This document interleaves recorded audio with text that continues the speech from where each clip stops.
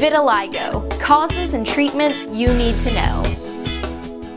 Hello folks, in medical terms, white patches on the skin are known as vitiligo. This can appear on different body parts including the hands, feet, legs, face, lips, and around the eyes. Vitiligo is caused by loss of pigment in the skin due to destruction of pigment-forming cells known as melanocytes. The exact cause of this skin condition is still unknown. It affects all races equally, but is more noticeable in dark-skinned people.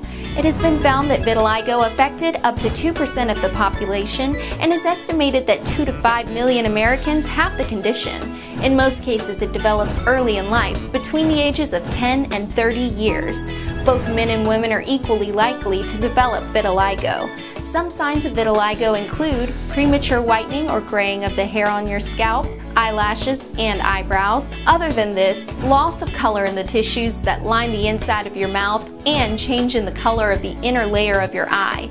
Irrespective of the cause, the problem tends to be embarrassing and could be killing your self-confidence. But don't lose heart, as there are some natural remedies like ginger, coconut oil, and ginkgo biloba that can help you to deal with this problem. Also, there are treatments like repigmentation using UV light therapy or skin grafting, which are used to improve the appearance of skin severely affected by vitiligo. So, people with vitiligo, take good care of your health and stay updated with ConsumerHealthDigest.com.